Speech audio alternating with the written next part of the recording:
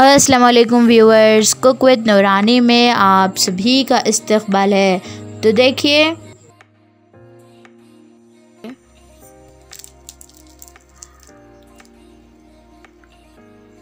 है ना, एकदम क्रिस्पी आज मैं आप लोगों के साथ शेयर करने जा रही हूँ इफ़ार स्पेशल बहुत ही टेस्टी और क्रिस्पी आलू पकोड़े की रेसिपी देखिए, इतने ज़्यादा क्रिस्पी रहेंगे। अगर आप इफ़ार के तीन या चार घंटे पहले भी इसे फ्राई करेंगे तो ये इफ़ार तक भी क्रिस्पी रहेंगे और बिल्कुल भी सौगी नहीं होंगे। इतने ज़्यादा टेस्टी रहेंगे कि अगर आप एक बार इसे इफ़ार पर बनाकर अपने घर वालों को खिलाएँगे तो वो आपकी तारीफ़ें करते नहीं थकेंगे और एकदम झटपट बन जाती है। देखिए, कितनी क्रिस्पी है। देखिए, है ना, एकदम क्रिस्पी तो चलिए, बिना देर के इस अमेजिंग सी रेसिपी को हम स्टार्ट करते हैं।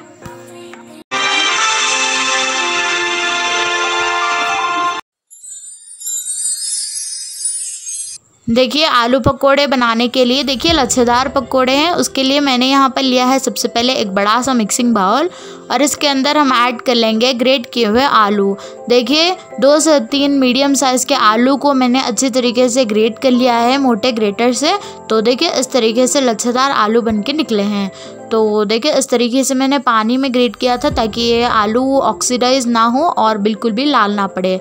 तो चलिए, अब हम इसके अंदर ऐड कर लेंगे एक कप बेसन। बेसन ऐड करने के बाद इसे और भी चटपटा और मज़ेदार बनाने के लिए हम इसके अंदर ऐड करेंगे कुछ मसाले। तो देखिए, सबसे पहले हम इसके अंदर ऐड करेंगे एक चम्मच लाल मिर्च पाउडर। फिर ऐड करेंगे इसके अंदर अपने टेस्ट के अकॉर्डिंग नमक। साथ ही ऐड कर लेंगे हम आधा चम्मच हल्दी पाउडर। आधा चम्मच ऐड कर लेंगे हम धनिया पाउडर। और साथ ही ऐड कर लेंगे आधा चम्मच ज़ीरा पाउडर।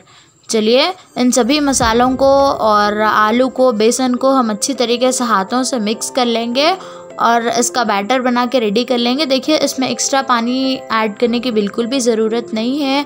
जो भी मॉइस्चर हमारा आलू का होता है, उससे ही आपको इसका मिक्सचर बनाना है। तो देखिए, हमारा बैटर रेडी है, आप लोग देख सकते हैं।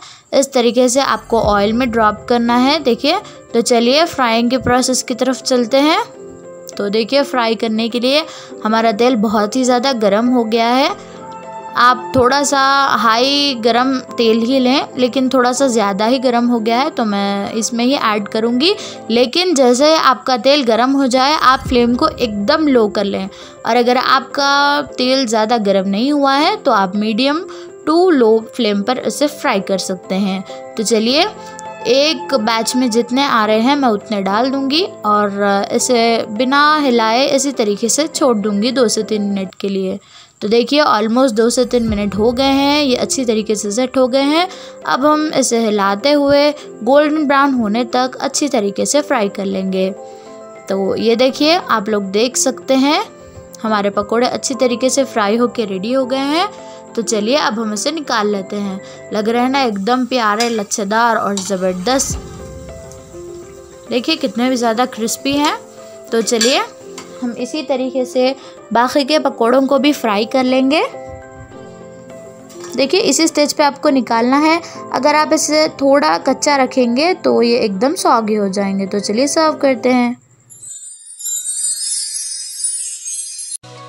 तो ये लीजिए छः से सात मिनट लगेंगे इसे हार्डली फ्राई करने में।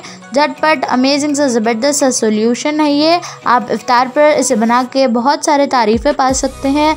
ना ज़्यादा मेहनत का काम है, ना कोई ज़्यादा झंझट है। फटाफट से आप आलूओं को ग्रेट कर लें और एकदम फटाफट से इसके अंदर बेसन और मसाले ऐड करके इसे फ्राई कर दें।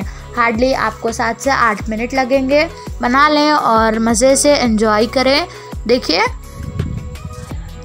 अगर आपको मेरी रेसिपीज़ अच्छी लगती हैं तो प्लीज़ प्लीज़ इसे लाइक करें। अपने सभी फ्रेंड्स और फैमिली के साथ इस रेसिपी को ज़रूर से शेयर करें।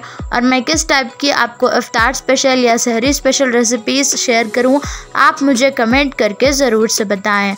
और आपको मेरे ये लच्छेदार आलू के पकौड़ों की रेसिपी कैसी लगी, मुझे कॉमेंट करके ज़रूर से बताएँ। तो देखिए, मैं आपको दिखाती हूँ कितने क्रिस्प है ये।